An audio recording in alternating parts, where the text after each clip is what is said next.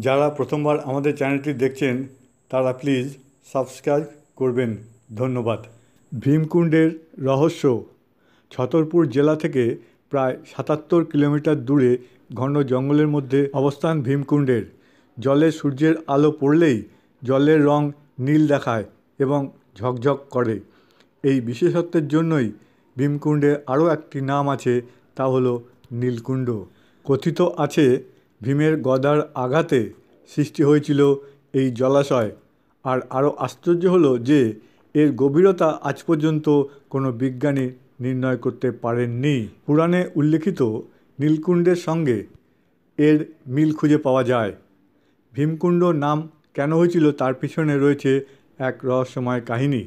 মহাভারতের সময়ের সাথে এই জলাশয়ের নাম জড়িয়ে রয়েছে এবং প্রচলিত বিশ্বাস বারো বছর বনবাসের পর যখন পাণ্ডবরা এক বছর অজ্ঞাতবাসে কাটাচ্ছিলেন, তখন এই ভীমকুণ্ডের পাশ দিয়েই যাচ্ছিলেন। সেই সময় এখানে ভীমকুণ্ড ও নামে কোনো জলাশয় ছিল না। ওখান থেকে যাওয়ার সময় দ্রৌপদীর খুব তেষ্টা পায়। কিন্তু গভীর অরণ্যে তেষ্টা মেটানোর জন্য কোনো ও জলাশয়ই খুঁজে পাননি পাণ্ডবরা। উপায় না দেখে ভীম তার গদা দিয়ে মাটিতে জোরে আঘাত করেন। তার গদার শক্তিশালী আঘাতে মাটি ভেদ করে জল বেরিয়ে এসে এখানে জলাশয়ের সৃষ্টি হয়। সেই থেকেই এইখানে ভীমকুণ্ডের উৎপত্তি। এই জলাশয়ের জল পবিত্র বলেই মনে করেন স্থানীয় বাসিন্দারা। মকর সংক্রান্তির দিন এখানে স্নান করা অত্যন্ত পবিত্র বলে মনে করা হয়। ভীমকুণ্ড দেখতে একটা সাধারণ জলাশয়ের মতোই।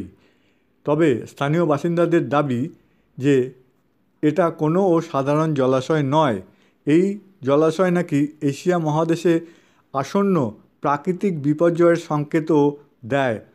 তাদের আরও দাবি, প্রাকৃতিক বিপর্যয়ের আজ পেলেই ভীমকুণ্ডের শান্ত জল একটা আলোড়ন তৈরি করে, অর্থাৎ এতে আলোড়ন সৃষ্টি হয়ে যায়। দু সালের সুনামির সময় ভীমকুণ্ডের এই অদ্ভুত ক্ষমতা চোখে পড়ে স্থানীয়দের বলে দাবি করা হচ্ছে। তাদের আরও দাবি, সেই সময়ে শান্ত ভীমকুণ্ডের জল নাকি প্রায় চোদ্দ পনেরো ফুট উঁচুতে উঠে গিয়েছিল। ভীমকুণ্ডের আরও একটা বৈশিষ্ট্য আছে এবং দাবি করা হয়, এর সঠিক গভীরতা এখনও পর্যন্ত কেউ মাপতে পারেননি। স্থানীয় প্রশাসন তো বটেই, বিদেশি বৈজ্ঞানিকদের কোনো দলও এইটা করতে পারেননি। সবচেয়ে আশ্চর্য যে বিষয়টি দাবি করা হচ্ছে, তা হলো ভীমকুণ্ডের দুশো পঞ্চাশ ফুট গভীরে যাওয়ার পরই তীব্র স্রোতের উৎপত্তির টের পাওয়া যায়। কিন্তু এই স্রোত কোথা থেকে এসেছে সেই রহস্য এখনও ভেদ করা সম্ভব হয়নি। ভীমকুণ্ডের জলস্তর কমানোর জন্য উনিশশো সাতাত্তর সালে জেলা প্রশাসন তিনটে পাম্প লাগিয়েছিল। কিন্তু পাম্প দিয়ে জল তোলার পরেও দেখা যায় যে এক ইঞ্চি জলস্তরও কমেনি।